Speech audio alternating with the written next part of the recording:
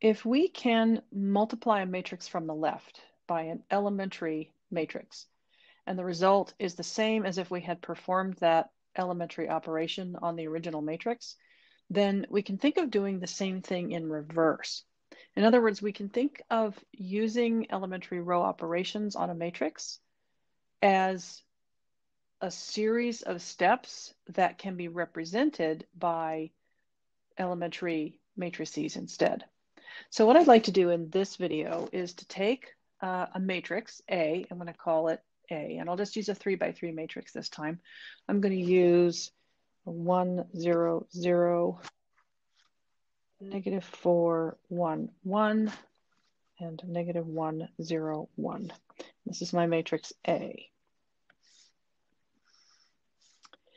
And what I'd like to do is I'd like to find a way to represent this matrix or to perform uh, elementary row operations on this matrix so that, let's do this, elementary row operations, so that it becomes matrix B, which I want to be 2, 0, negative 1, negative 6, 1, 2, and negative 1, 0, 1. All right um, I can do the elementary row operations, uh, or I can identify the elementary row operations, and then I can represent those by elementary matrices. And so that's the goal in, in this particular exercise. So one of the things that I've noticed here is that if I take uh, row one here and subtract row three, get 1 minus negative 1, which is 1 plus 1, or 2. And that gives me the entry I have here. And so I'm going to test that, that operation or that sequence of operations um, matches the, the corresponding entries in, in 2 and, and columns 2 and 3. So I did row 1 minus row 3. I'm going to do row 1 minus row 3 here. 0 minus 0 is 0. That gives me 0. And 0 minus 1 gives me negative 1. So if I take row one and subtract row three, I'll get a new row one. I'm not really supposed to write this as a subtraction, but it's really easy to change the order here. What I'm going to write this, uh, the way I'm going to write this operation is as row three, negative one times row three plus row one. And I'm going to put that into the position row one because that's where I found the result of that operation. Okay, and what this here is, this negative 1 times R3 plus R1, this can be represented by uh, an elementary matrix. If I take, let's go off to the side here, if I take the 3 by 3 identity matrix,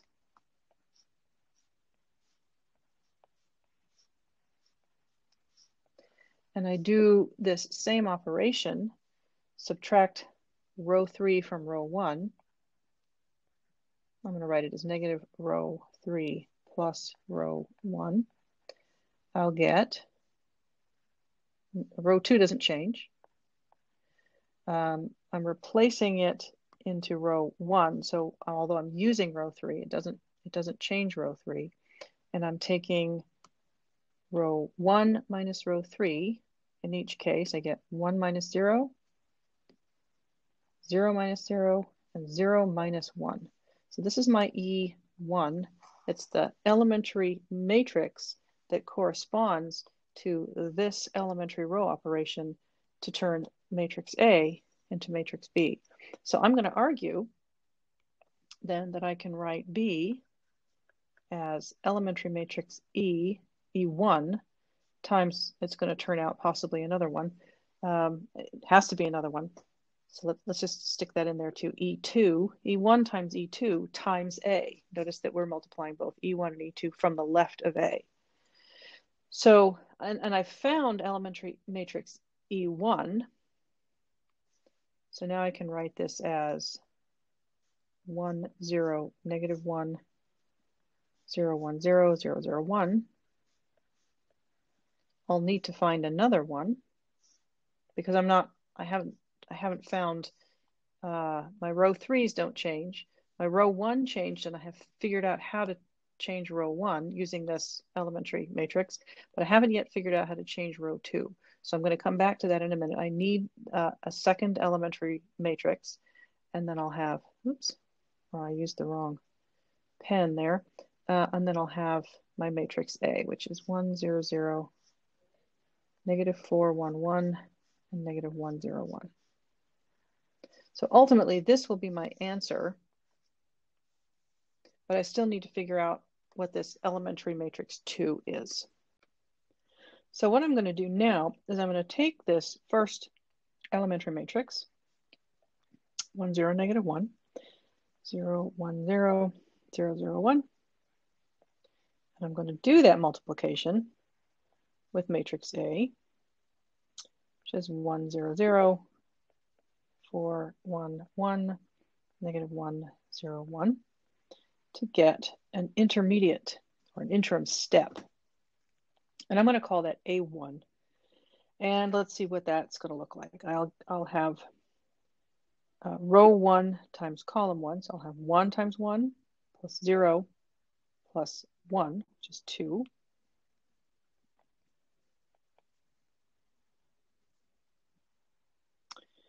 And then I'll have um, 1 times 0, which is 0, 0 times 1, and negative 1 times 0.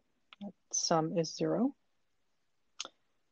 And then negative, well, 1 times 0, 0 times 1, and 1 times, negative 1 times 1. So I have negative 1. And that shouldn't come as a surprise because that was, um, that's our first row in matrix B, which is our goal matrix, our target matrix.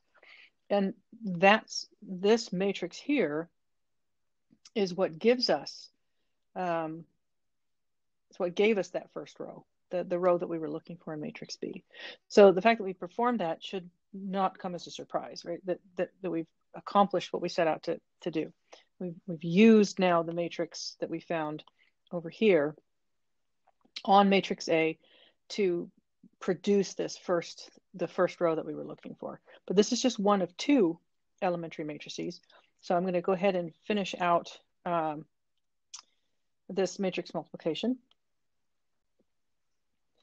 The second row and the third row, when I multiply those by this matrix here, um, this one's just going to reproduce the second row, and this one's just going to reproduce the third row because they're just the second and third row in the identity matrix. So just because it's still a relatively new concept, let's go ahead and, and perform these um, multiplications, I get 0 times 1 plus 1 times negative 4 plus 0 times 0 is negative 4. Then I get 0 times 0, 1 times 1, and 0 times 0, which is 1. Add those together, I get 1. Then 0 times 1, 1 times 1, and 0 times 1. And that's sum of 1. 0 times 1, 0 times negative 4, and 1 times negative 1. 0 times, where am I? 0 times 0, 0 times 1, and 1 times 0. And 0 times 0, 0 times 1, and 1 times 1. So here is my interim step, my interim matrix. I'm calling it A sub 1 just to distinguish it from A. It is the matrix A with one elementary row operation or one elementary matrix applied to it. But what I need to do now is figure out how do I get from here to matrix B? In other words, what do I have to do to, uh, let's see, I'll put it here. 2, 0, negative 1, negative 4, 1, 1, negative 1, 0, 1. What matrix do I need to multiply uh, that by to get B? And so I need to look now at this matrix and figure out what um, what elementary row operations should I do to this to get the matrix B. The first row is correct. The, the last row is correct. The only row that's not correct is the second row. So what do I need to do to rows uh, 1, 2, and 3 of this matrix to get to this matrix, to get this middle row, to change the middle row. Now I've noticed that if I start with row 2 and subtract row 1, I get negative 4 minus 2, which is negative 6, 1 minus 0, which is 1, and 1 minus negative 1, which is 2. And that's the correct row. That's the, the, the target row that I'm looking for. So that means that my, my row operations are going to be uh, what I said, uh, row 2 minus row 1, but I want to write that in terms of uh, the multiple of a row plus another row into the second of the two rows. So I'm going to write negative 1 times R1 plus R2 and I'm going to make that my new R2. And the elementary row operations, or sorry, the elementary matrix that results from that is the one that I get. I'm just going to write out I here first of all. If I take row 1 here and negate it, change the signs, make that a negative 1, and add the result of that to this row, I leave this row as it is and change this row, what I'm going to get is negative 1 plus 0, 0 plus 1, and 0 plus 0. So what changes here is that the second row, first column, becomes a negative 1. And this is my E2. So this is what's going to go in here, but I have one more really major caveat to uh, to point out before before we actually do it. E1 is here, and E2 is going to go here, but not. And here's why. Um, in fact, when I multiplied uh, E1, which is this matrix here, by A, which is this matrix here, I did that here, and that gave me A1. It gave me an interim uh, product of two matrices. And the result of that multiplication was, let me see if I can, I'll put it in a, a cloud up here for us. I took matrix A and I first multiplied it by the, the, the matrix I'm calling E1, right? And so I did that multiplication and this matrix now, I'll put it in parentheses, I think. This matrix is a new matrix, and I called it A1.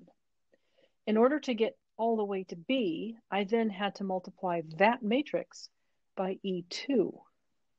I haven't actually done that yet. Um, E2 is going to go here in just a minute. And in fact, it, it was going to go here, but I actually have to reverse these two I have to reverse the order that E1 and E2 are in. Uh, I can change the names if I want to, but I have to rever- reverse the order the actual matrices are in in order for this multiplication to work. Because remember that multiplication of two matrices is not commutative. I cannot just put them in any order and expect to get the same result. So if I retain the names I've got here, E1 and E2, then this is the order that I have to present my multiplication in. And if I want to change the names of my matrices, I can do that.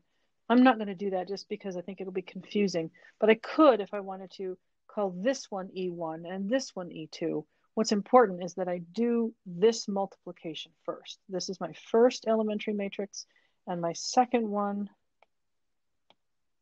is E2 1. Oh, let's use a different color. one zero zero, negative one one zero, and zero zero one. And so I've done, I found both of the matrices that I need, both of the elementary matrices, matrices that I needed, but I have to be very careful about the order in which I apply them to matrix A in order to get the result, matrix B.